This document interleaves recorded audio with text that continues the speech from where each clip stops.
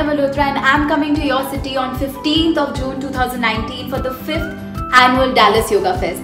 To all the yogis, yoginis, health and fitness seekers, the month of June is around the corner. And it's time For the 5th annual Dallas Yoga Fest.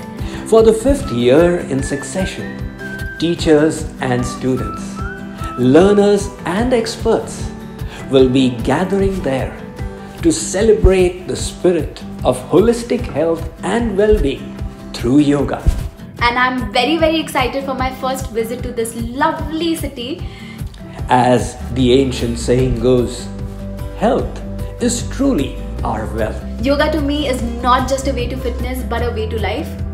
and we must make it our priority in life to protect and enhance it at the level of our body, mind, and soul. Come and join me with yogi and philosopher Swami Mukundananda ji at the Dallas Yoga Fest. Joining me this year will be the fittest celebrity in Bollywood, Sanya Malhotra, and she will be discussing with me secrets and tips for holistic health and well being. Let's take a step towards holistic wellness together.